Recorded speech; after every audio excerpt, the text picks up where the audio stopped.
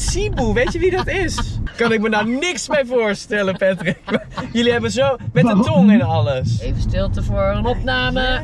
Hoe lief het ook bedoeld was, vond ik niet prettig. Nee. Maak het dashboardkastje even open. Ja, Vief.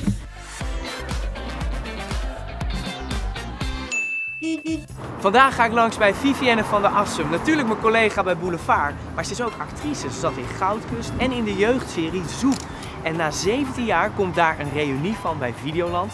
Hoe kijkt zij daarop terug op die tijd en wat zijn haar ambities nog meer in het acteren? Ik heb een mooie wagen voor haar. Ik ga erop halen. Ja, daar is ze. Heerlijk om Ja. opgehaald te worden. En wat een luxe, Hallo. hallo. Super luxe. Ja, ik ga jou natuurlijk op stand even wegbrengen. Alles beweegt ook, Alles beweegt, alles gaat automatisch. Super. Nou, wat enig. Ja, de laatste keer dat je me kwam halen eh, was ik net bevallen. Ja, inderdaad, ja. Toen, toen kwam je ook Toen langs. kwam ik op bezoek. Je kiest wel momenten. En het is een, uniek moment. Want je hebt een, een imponerende carrière, Viv. Als ik het allemaal zo teruglees, weer even. Heb je het even vandaag En ik ben natuurlijk even in de Wikipedia ook gekropen. Maar Ja, ja. 17 jaar geleden Ja. was jij Shiny Elise bij Zoek. Ja, En dat komt nu terug, een reunie. klopt. Hoe belangrijk was dat moment eigenlijk in jouw carrière? Want ik zag je als een heel jong, ja, leuk meisje zo door dat dierenpark rij- eh, rennen. Ik had al wel, was al wel aan het werk geweest voor eh, Onderweg naar Morgen en Ja, Goudkust. Goudkust. Dus twee grote soapseries eh, die we natuurlijk hadden. Maar toen ben ik gestopt bij Onderweg naar Morgen omdat ik graag ook wat meer ervaring op wilde doen achter de schermen. Dus ehm, filmacademie een jaar gedaan, een soort voorbereidend jaar of dat je dat echt wilde doen. En eigenlijk vlak voordat het afliep, wat echt super leuk en leerzaam was voor mij, Ja. Ehm, kreeg ik een auditie voor Zoep. En toen dacht ik, ja, maar wacht even. Dit klinkt natuurlijk wel te gek. Ik was eh, eigenlijk voor een andere rol ging ik eerst op. Maar ja, de tweede ronde was dan eh, echt Elise. En eh, deed ik samen met Patrick eh, Martens al auditie. Ja. Die later en nog steeds mijn langslopende televisieverkering is. Eh, en hij werd Mike en ik werd Elise. En zo eh, begon het. Het was een romantische Ja, eh, relatie die door die hele serie heen is gegaan. En zelfs die films ook, drie films waren er Ja, geloof ik. ja, klopt. En Patrick ken je eigenlijk hoe lang dan al? Want het Nee, is... niet. Oh, niet? Nee, die ken ik hierdoor. Oh, die was je, die heb je daardoor leren kennen, ja. Ja, en het was gewoon eh, nog zo vaag, weet je wel. Want we gingen opnemen in die dierentuin. Nou, ik weet nog dat we de eerste keer daar kwamen en eh, de andere acteurs ontmoet. Nou, dat was trouwens ergens anders, maar meer zo van... Ja. Toen kwamen we daar en toen werd wel duidelijk van... Je, je kan niet iedere dag heen en weer rijden vanuit, waar woonde ik toen, Den Haag... naar, eh, Nee. naar uh, Dierenpark in Renen. Renen, ja. Dus ja, toen werd het ook al vrij snel duidelijk van... we gaan daar met elkaar in een appartement zitten. Echt met elkaar. Ja, zo, dus Hoe lang het werd was dat ineens dan? echt zo, het werd een soort campus. weet je Ja. wel. ja, echt Ja, en met... maanden, weet je wel. Ja. En in die leeftijd, nee joh, dus dat Hoe was... oud was je toen? Was je 70 Begin jaar terug? 20? Ja, jong, jong was je, joh. Leuk dat we het even, we houden het een beetje vaag. Ja, begint Begin 20. Ach ja. Oh, we worden gebeld. Sibu. Sibu, weet je wie dat is? Hallo, Sibu? Sibu? Lieverd, ik ben, ik ben getekend voor het leven door deze verhalen. Trust me. Ja. Nou, we- Oh! Patrick Martens aan de lijn, dames en heren. Ja, en Mike, je, je, ja, je grote liefde, Vief. Ja, we hadden het net al even over je lief. Oh god, ja, Ja. ja, ja. Nog steeds grote liefde. Ja, dat zeg ik. Langslopen tele- langslopende televisieverkering, zo is het gewoon. Ja, hebben we nog verkering? Want ik weet eigenlijk helemaal niet op eh, hoe dat is geëindigd. Goeie vraag. Ja, jij moest weer Sorry. dieren redden in het buitenland en ik bleef achter met een beverrad en daar is het gestopt. Ja, maar daarom hebben we nog een relatie. Ja, geef even antwoord, Ja. Elise. Ja, hallo. Als het aan mij ligt, natuurlijk. Maar goed, ik weet niet wat er Ja, in de tussentijd gebeurd is, maar ik denk als een soort elastiek komen wij toch altijd weer bij elkaar terug. En ik wilde even iets vragen, want jullie hebben heel wat afgezoend. Ja. Patrick, hoe was dat? Want jullie waren gewoon besties. Ja, we kenden elkaar dus eigenlijk niet. En nou ja, we hadden eigenlijk meteen heel snel een soort klik. En we vonden elkaar. We hadden een beetje dezelfde humor. Dus ja, dat verliefd spelen, dat ging dan eigenlijk eh, redelijk vanzelf. Was je een beetje goed op door? En we hadden veel zoenscènes. Alleen ja, we zijn later wel een beetje op onze vingers getikt. Oh, echt waar? Dat het te wat? Te. Ja, dan hebben we Ja, vol overgave. veel gezoend. Ja, te veel. Ja, vol overgave. Kan ik me nou niks bij voorstellen, Patrick. Jullie hebben zo met de tong en alles. Dat werd gewoon... Nee, Oh. nee, we hebben het bes... Nickelodeon. Oh ja, dat was Nee, dat Nickelodeon. heb- Ja, dat hebben we wel eens privé gedaan. En kan Vief goed zoenen? Heel lekker. Kijk, nou hier, dat moet je. Dankjewel. Wat een compliment. Nou, dankjewel Patrick. En heel veel, eh, kom veilig Veel aan. plezier. Dag. Schatje, Ja. voorzichtig. Doei.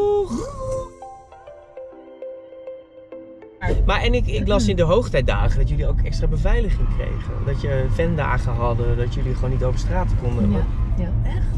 Ja. Hoe was dat? Nou, over straat, door, ik, laat ik een kanttekening plaatsen, eh, door de dierentuin. Door de dierentuin. Oh, het was vooral maar de je kon dierentuin. daar niet, je kon daar gewoon niet normaal. een scène opnemen.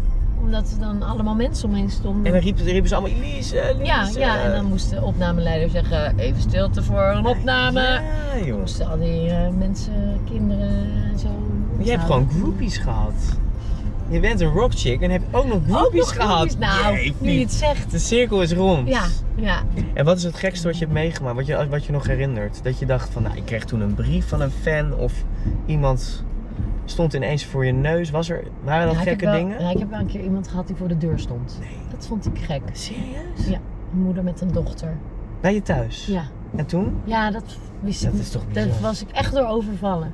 Als je, je ook- nagaat waar ik woonde, dat was best wel een beetje een gek eh, hofje-achtig ding. En ik wist gewoon ook niet.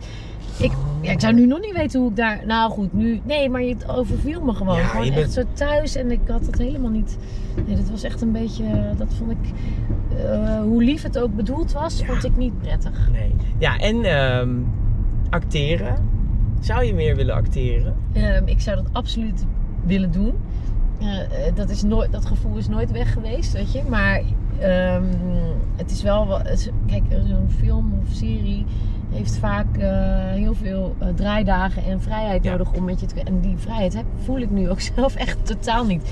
Ik ben al superleuk werk aan het doen waar ik heel blij mee ben. En ik heb nu ook ineens twee kleine kinderen Ja, waar ik... Dus ik zie ook niet... Ik heb ook zelf niet zoveel ruimte te bieden. Maar als het puur gaat, dat is allemaal praktisch. Als het gaat om zou je dat willen, zou ik zeggen ja, dat zou ik wel willen. Ja. Ja, dat zou ik heel leuk vinden. Maar jij bent natuurlijk nu ook moeder met, met, eh, Ja. met Guus en Anouk. Dat gaat bijna niet. Die combinatie. Nou ja, dan niet met de dingen die ik er al Nee, naast doe. nee. Natuurlijk eh, Boulevard Ja. en ehm Sidekick bij Ruud de Wild. ja. En Je doet best dan, veel. eh, ja, dan is het best wel lekker eh, drukke werkschema's. Ja, en ik was op babybezoek, maar je bent een blije moeder, volgens mij. Je, je geniet van je twee... Ja, Ja, want je hebt natuurlijk ook dat rockachtige. Je bent helemaal uit je plaat gegaan afgelopen weekend. ja, Maar dan sta je er toch weer trots eh, thuis ook weer Ja. te genieten van, van je twee koters. ja. Ja, ik ben echt heel blij dat we met z'n vieren zijn. En eh, ik vind het ook... eh, ik vond echt van met z'n tweeën zijn en een kind erbij... een een pittigere Mm. overgang om dat allemaal, die puzzel te leggen dan dat we nu met twee kinderen zijn. Ja, echt waar? Ja, ja. Terwijl ze- Terwijl ik hoorde ook om een of andere Ja. dingen, maar dat, dat ervaar ik echt anders. En merk je al eh, dat eh, Guus heel anders is dan Anouk? Anouk is natuurlijk nog heel jong. Hij is groot ineens, joh. Ja. Hij gaat nu natuurlijk naar school en ik, ineens zeg ik van, nou, het weekend natuurlijk, hoe gaat het thuis? Even appen naar een foto. En toen dacht ik, jee, maar wat heeft hij lange benen? Nee, Dat is serieus? echt zo'n moment dat je ziet dat hij echt wel, dat is echt wel nu gewoon echt een naar school gaand, eh, Ja, hij is al Grote vijf, gozer. vijf, bijna vijf. vijf. En Arne is natuurlijk ook een grote man. Ja, die is ook groot en Ja. breed. Dus dat krijg je terug. We Ja, hebben, we hebben nog even wat mee. eh, maak het dashboardkastje even open. Ja, Vief. Het zijn de Boulevard Dilemma's. ja, ja, ja. gaan Nou, we hebben het al een beetje besproken. Begin maar. Lees maar gewoon hardop voor. Acteren of presenteren? Ja, dat bedoel ik. Ja, dat is dan nu echt presenteren. Ja. En ook een ander programma? Op ja, zich? ik sta wel echt. Ik ben wel. eh, ik, heb, ik ben wel ambitieus in de zin van Ja. dat, ik de- dat ik wel graag nog andere programma's wil doen. Maar op dit moment nu ben ik echt ook heel blij. Ja. En dat is ook een fijne positie. Next. Rol in een soap of in Flikker Maastricht. Hallo, terug in een soap. Weet je hoe leuk dat is? Ja? Ja, meteen. Nee, Flik was te gek, maar, ik, maar dat, dat tempo van, kijk daar zit me, dat vind ik, eh, Het gaat veel sneller. Snel. Ja, dat hoor je bij GTST ook. Ze nemen zoveel op een dag op. Ja, en dat vind ik heel leuk werken. Familieweekend met de kids of een weekend muziekfestival Rockwerchter. Als je me nu vraagt, Ja. nu Ja, ja dat dacht ik al. dat jij net gedaan ik heb hebt. het gehad. Maar je bent- niet. Je bent natuurlijk wel, eh, je houdt van festivals, een beetje een ruig. Ja, gewoon. Ga je dan helemaal uit je eh, plaat eigenlijk? Met alcohol en alles. Ik sta in een moshpit, hè? Wat bij een band. Dat je vooraan staat en Nee. springen. Nee, echt waar? Ja. En gooi je ook bier?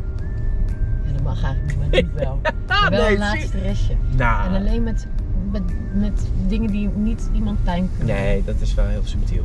Maar je, bent wel, een- je gaat dan wel helemaal los. Ja, natuurlijk. Geestig, die- ja. Nee, maar dat is een uitlaatklep gewoon. Ik vind dat leuk. Ik hou van muziek. Muziek is belangrijk. Eh, kinderen van ons hebben vernoemingen naar muzikanten. Mu- Muziek is gewoon belangrijk in, eh, in, in ons, in mijn leven. Omdat ik het heel leuk vind. Ik hou ervan. Het is een uitlaatklep. Nou, dat. ja, maar dat Dus is... dan zo'n weekend en dan met vrienden helemaal opgaan in de muziek. Dat is super. Nou, ik heb nog even wat muziek natuurlijk. Want ja, we kunnen niet zonder muziek. Dan eindigen we in stijl. Speciaal voor mij. Ik heb gehoord Kings of Leon. Is Ja. dat je favoriet? Ja, dat is wel een all-time favorite. Ja, echt waar? Ja. Ik was dus ooit met mijn eh, vriendinnetje en haar ouders mee op vakantie. En toen draaide haar vader dit in, eh, in de auto op een gebrandkopieerd cd'tje. Toen zei ik, dit klinkt vet. Die mannenstem van die Caleb, van die zanger. Dat is zo'n, dat is zo'n mooie, rauwe eh, stem. Dat raakte me meteen. Toen zei hij na de vakantie, neem maar mee dat. Nou, Oh. ik helemaal blij. Oh ja, daar komt hij.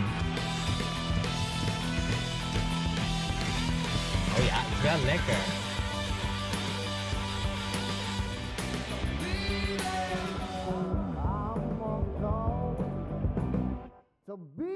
Ben je eigenlijk, ben je, volgens mij, ben je getrouwd met de Arne eigenlijk? Nee, Zou je dat nog willen? Zo'n rockhuwelijk? Ik zat ineens te denken met van die, wat zo... zo'n band. Zo, Kourtney Kardashian. Ja. met, eh, nee, nou, nee, ja, nee. Zeg nooit nooit. Stel dat hij je vraagt. Bedoel, Oh, ik zou het wel leuk vinden om te trouwen, maar dit is niet iets wat ik als eh, van jongs af aan eh, bovenaan mijn lijstje heb staan. Maar met Arne trouwen, dat lijkt me enig. Al hup, al die mensen er weer bij. Ja hoor. is wel leuk hoor. ja. ja. En hij wil het dan heel groot en ik wil het dan iets kleiner. Dus dat vindt elkaar dan ook Oh ja, niet. nee. Dan, sta- Het is eigenlijk een praktisch. dan krijg je die ruzie. We zouden het klein houden. Ja. En nu sta ik in één keer bij een taart allemaal eh, soorten taart uit te zoeken. Nou, Viv, het was me een genoegen. Mij ook. Echt in de auto gehad. Ja. We gaan de reunie kijken. dolblij dat ik uit kan stappen. Ja, doe voorzichtig. Ja, ik heb je veilig gebracht. Nou, dan ga je. Ja. Volgende keer ga jij. Kijk uit En alsjeblieft. heel benieuwd wat je van de reunie vindt. Ja. Dus laat maar weten. Ik ja? ook. Joe. Fijne dag. Ja.